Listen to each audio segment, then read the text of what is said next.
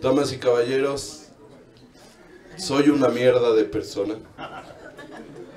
Soy de esas personas que no vale la pena ser su amigo. Esa gente culera,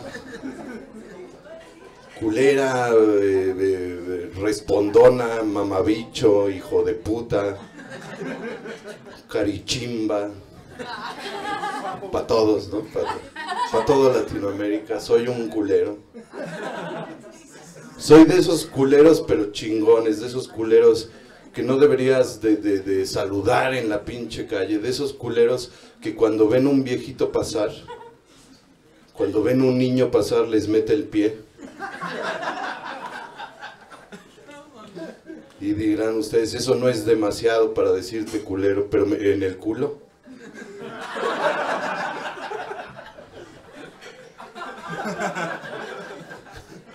Soy una mierda de persona. No entiendo por qué me siguen invitando a los shows. Estoy realmente muy preocupado porque siento que, que el stand-up se ha convertido ya en una cosa muy ligera, en una cosa de vacilada. Ya no queda ningún mensaje para el público, ¿verdad? Que está viendo. Y no todo es vacilada, damas y caballeros. Por eso quiero hacer hoy, en esta rutina, quiero hacer una cuestión más filosófica. Quiero dejar un mensaje a través de esta rutina. A pesar de ser una mierda, estoy seguro, seguro que el trabajo voluntario es una cosa muy importante en la vida del ser humano. Hace poco llegaron a mi edificio a proponernos poner una de esas antenas de Telcel en el techo. Nos ofrecieron a cada departamento 1.500 pesos mensuales por tener esa pinche antena de Telcel arriba pero yo estuve leyendo en internet que si tenías esa antena te podía dar cáncer. Y entonces mi trabajo voluntario, mi trabajo este, pro vida, fue decirle a los señores de Telcel, no sean pendejos, si esa pinche antena da cáncer, pónganlo en los hospitales de cáncer, que ahí ya no importa. Nos quitamos de pedo, ¿para qué queremos más gente con cáncer si lo podemos poner en las en los techos de los edificios de los hospitales de cáncer, allí en el, en el, buenas tardes, en el Instituto Nacional de Oncología podrían poner una de esas. Otra cosa que me tiene muy encabronado, damas y caballeros, son las mentiras. Creo que, hablando de, de esta parte filosófica en el stand-up, Creo que la vida, la vida es un eterno penar entre la verdad y la mentira. Así vivimos, damas y caballeros, entrenados para vivir entre la verdad y la mentira. Eso pasa incluso aquí en la Ciudad de México con las leyes que han aprobado últimamente la gente ya se puede casar con, personas del mismo sexo, pero hay una mentira. Por ejemplo, hay una cosa que no se puede, que es que dos mascotas del mismo sexo se puedan casar entre ellas. Se me hace muy mala onda, lo acabo de leer en una noticia. Dos cochinitas, dos cochinitas hembras, tuvieron que viajar hasta Yucatán y nada más para casarse por el pibil. Otro chiste muy mamón, ¿verdad? Disculpen, disculpen ustedes. Otra gran mentira que inventaron los gringos para dominarnos es la eyaculación precoz, damas y caballeros. Es una mentira, nadie crea. Aunque te venga rápido, no te lo creas. Es una mentira. Yo ya a mi edad, a punto de cumplir los 40 años, yo soy un eyaculador poscos. Que si lo analizan ustedes etimológicamente, la eyaculación precoz. Yo soy un eyaculador poscos, que quiere decir que yo divido el palo en tres días diferentes porque me quedo dormido en todos. Ya eyaculo hasta el tercer día. Hay tres tipos de mentiras, damas y caballeros. El tipo de mentira que dices tú y sabes que es mentira, pero se lo dices a los demás a ver si se lo creen, como esta mentira clásica, el lunes empiezo. siendo un gordito siempre dices, no, ahora sí el lunes empiezo la dieta, el lunes entro al gimnasio, no importa. Otra mentira muy clásica es los piropos que decimos en la calle. Yo tengo una teoría, los piropos que decimos en la calle deberían de evolucionar. Estos piropos guarros de quién fuera frijol para embarrarse en tu tlacoyo. Estos pinches piropos culeros que tú ves y dices, este, yo si me como tu mierda en un bolillo. No están bien, no están bien, damas y caballeros creo que pueden ser más finos y, yo por eso he desarrollado esto. Piropos literarios, piropos con bonitas metáforas muy elevadas. Por ejemplo, este piropo, a ver si les gusta, que dice, tus ojos de rubí, tu boca de esmeralda, pero lo mejor que tienes, lo tienes donde termina la espalda. Es bonito, es bonito. Y aún así, pues está el mensaje, ¿no? El mensaje de que tiene buen culo. Pero hay todavía más evolucionados, por ejemplo este que acabo de escribir que dice, a ti que se te mira en los ojos lo pura y lo casta, he de hacerte el cunilingus pero en hinojos. Que es lo mismo que si eres virgen te la mamo hincado.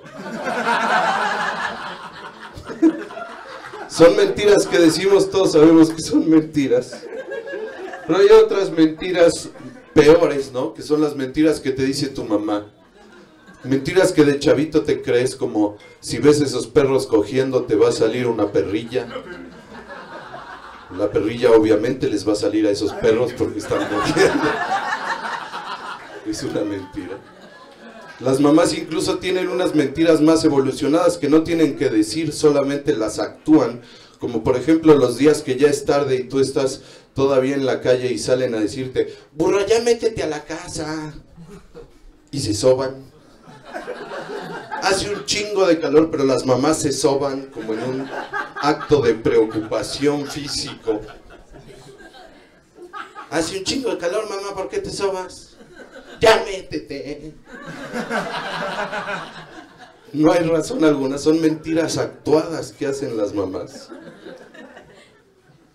Después de esto vienen las mentiras que todos sabemos que son mentiras, pero las seguimos diciendo. Por ejemplo, este tema muy fundamental que es la colación. No sé si alguien ha probado la colación. Este pinche dulce culero que hay en la Navidad. No entiendo por qué existe. No conozco a nadie que le guste la colación. ¿A alguien le gusta la pinche colación? A nadie le gusta la colación. Entonces creo yo, desarrollé esta teoría que dice que hubo un gran Big Bang de la colación hubo dos judíos que dijeron, ¿por qué no hacemos un, dulce que vendan en la Navidad para los cristianos estúpidos? Vamos a hacer dulces muy bonitos, que sean grandotes y que tengan bonitos colores, todos colores vivos y formas geométricas. Decidieron hacer esta gran producción de pinche colación. Todas eran gigantes hermosas, círculos perfectos, azul rey, rojo carmín, amarillo intenso. Y la mentira que nos decimos todos los años es, ¿qué se me hace que ya me gusta la colación?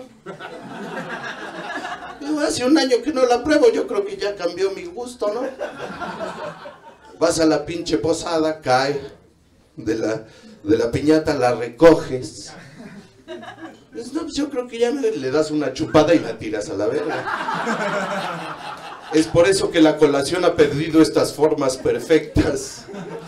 Y ahora son amorfas y de colores pastel porque cada uno de nosotros le da una chupada cada año. Y la vuelve a tirar y se van descarapelando.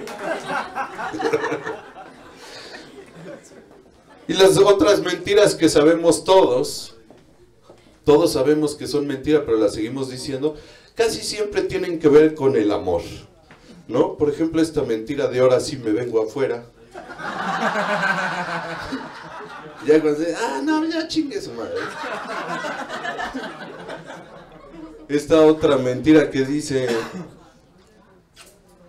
me voy a quedar por ahí.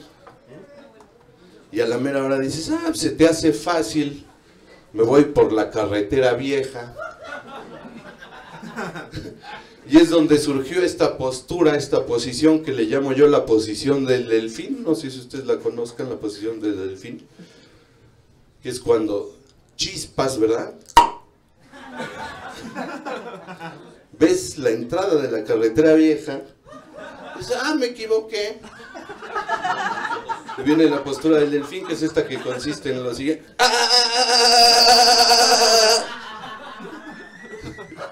La de Universal Estéreo, le digo yo. La postura de Universal Estéreo, damas y caballeros.